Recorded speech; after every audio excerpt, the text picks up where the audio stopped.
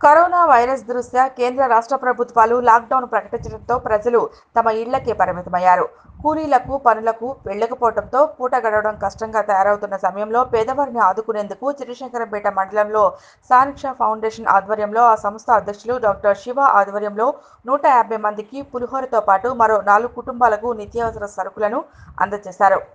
అనంతరం డాక్టర్ శివ మాట్లాడుతూ ప్రపంచాన్ని గడగడలాడిస్తున్న కరోనా వైరస్ను అరికెట్టేందుకు ప్రజలు తమ ఇళ్ళకే పరిమితమయ్యారు. ఇలాంటి సమయంలో పేదవారిని ఆదుకోవాలనే ఉద్దేశంతో మా సంస్థ ఆధ్వర్యంలో అనేక సేవా కార్యక్రమాలు జరిగాయని దానిలో భాగంగా గత రెండు రోజుల నుండి సుమారు నూట యాభై మందికి పులిహోరతో పాటు నాలుగు కుటుంబాలకు చేయటం జరిగిందని ఆయన తెలిపారు. ఈ కార్యక్రమంలో ఫౌండేషన్ సభ్యులు శివబాను మహేష్ లక్ష్మణ్ రవి తదితరులు పాల్గొన్నారు.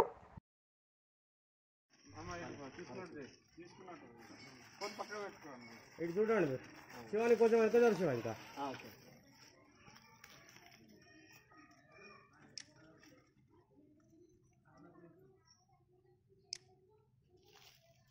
పేరు doctor D Shiva Saniksha foundation అధ్యక్షుడిని.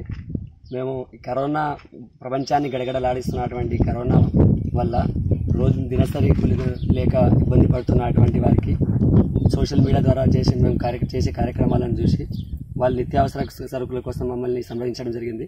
దాన్ని స్పందించి మా ఫౌండేషన్ సభ్యులైనటువంటి భాను సహకారంతో మూడు కుటుంబాలకు నిత్యావసర సరుకులు ఇవాళ అందించడం జరిగింది. అలానే ఇలాంటి కార్యక్రమాలు యువకులకు స్కూళ్ళలో స్కూళ్ళకు సంబంధించిన వాళ్ళకు మళ్ళీ అనాథలకు మళ్ళీ కంటి పరీక్షలు లాంటివి అనేక రకాల కార్యక్రమాలు గ్రామాల్లో అభివృద్ధి గురించి చాలా కార్యక్రమాలు చే- చేస్తున్నాం. మీలాంటి వారు సహకారం ఇంకా ఎక్కువ ఉంటే ముఖ్యంగా మేము చేసేది ప్రతిదీ మీడియా వారి సహకారంతోనే చేయగలుగుతున్నాం. ఇంతటి పెద్ద కార్యక్రమాలు చేయడానికి కూడా ప్రతి మీడియా సహకారం వల్లనే చేయగలుగుతున్నాం కాబట్టి మీడియా యొక్క సహకారం ఉంటే మరి దాతల సహకారం ఇంకా ఎక్కువ ఉంటే ఇంకా పేదవారికి సాయం చేసే అవకాశం ఇంకా ఎక్కువ దొరుకుతుందని తెలియజేస్తున్నాను. ఇవాళ నిన్న ఒక రెండు వంద మందికి వంద మంది వంద మందికి నిన్న పులిహోర ఇవ్వడం జరిగింది. ఇవాళ కూడా ఒక యాభై మంది పులిహోర ఇవ్వడం జరిగింది. అలానే నిన్న రెండు కుటుంబాలకు ఇవాళ మూడు కుటుంబాలకు ఇవ్వడం జరిగింది.